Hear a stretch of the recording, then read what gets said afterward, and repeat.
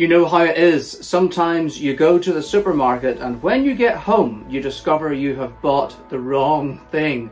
Or perhaps you are getting something from one of those delivery companies or an online supermarket shop. And when the groceries arrive, you also discover, oops, something is not as expected. Well, that's exactly what happened to me. I had ordered four cream desserts but did they arrive? No. In its place was creme fraiche. I thought, do I even like creme fraiche? Do I even know what creme fraiche is? Well, I don't know what the answer to either of those was, but I looked it up online and I discovered an absolutely fabulous recipe for a quick and easy creamy pasta. The ingredients that you need are one small onion, chopped, one clove of garlic, chopped, five slices of streaky bacon cut into strips or lardons, a good bowl's worth of garden peas, the creme fraiche, and 225 grams of pasta, preferably fusilli.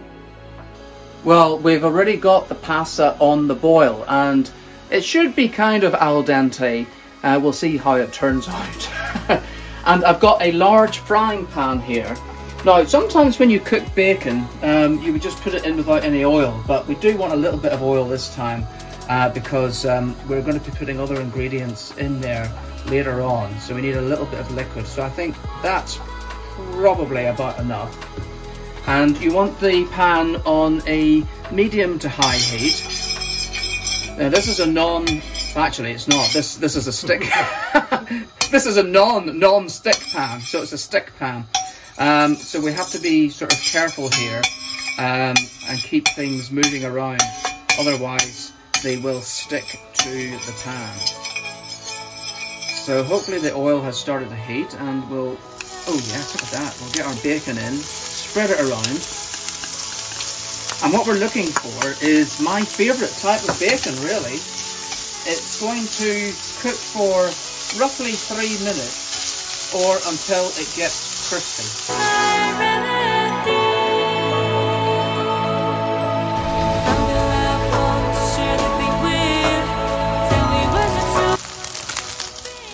Oh, well, I think that's just about ready now. So what we want to do is reduce the heat to a sort of a medium heat now, down to here. And what we're going to do is we are going to put the bacon onto some paper just to let it soak up the fat. Try not to set fire to the paper. So we have our bacon on the paper, so that will soak up any excess fat, but we want a little bit more oil in the pan now. Um, and we'll let that heat up. And the next thing we do is we're going to add in our onions and that is going to cook for about three to four minutes until it's nicely softened. I'm using a red onion, but it doesn't really matter. You could use a white onion, or you could also use shallots, depending on what you've got. And the thing is, with a pan like this, you're going to get all those nice sort of tasty bits on the bottom. It's not burnt really, it's just golden, crispy. So while the onion continues to soften down, we're now going to add the peas to the pasta. And it's just going to sit in there for the last sort of three minutes or so of cooking time. The onions are nicely softened now, so we're going to add the garlic and cook for a relatively short time, maybe another minute or so. Right, now it's time to add the bacon back into the pan. And to that, we are going to add in our jar of creme fraiche to make our lovely cream. And we want a pinch of salt and some pepper.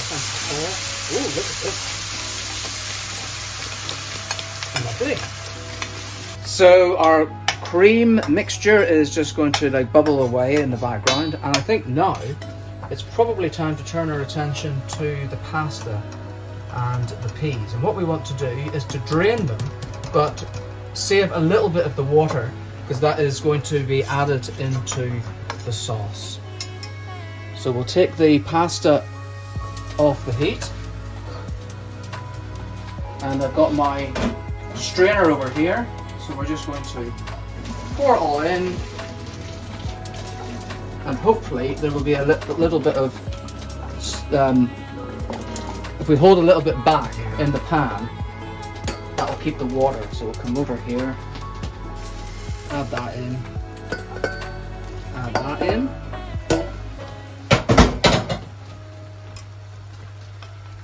And continue to stir it around until everything's nicely mixed together. Did you put pepper in there yet? There was pepper, but you can add more. Salt and pepper to taste, my dear.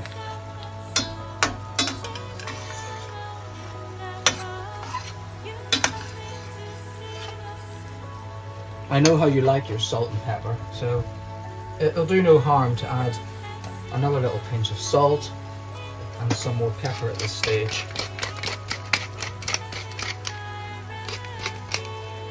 Now there are options you can do on this recipe. You can add Parmesan cheese into the mix and also parsley if you've got it.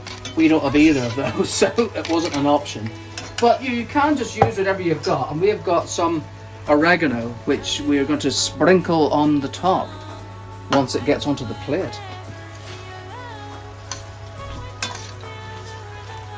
Oh, Paul thinks it's ready, so maybe it's time for me to eat. Why don't you put some of that oregano Oh, I think it'll be to taste. Paul wants his oregano, so here we go. Is that enough? Mm -hmm.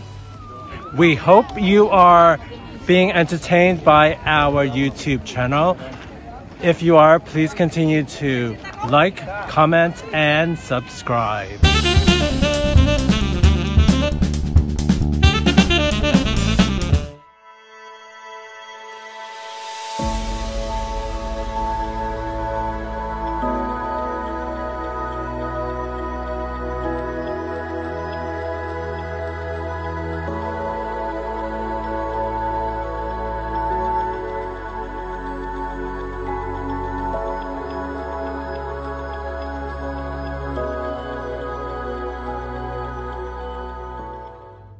Does it not have enough of the sauce or am I saucy enough?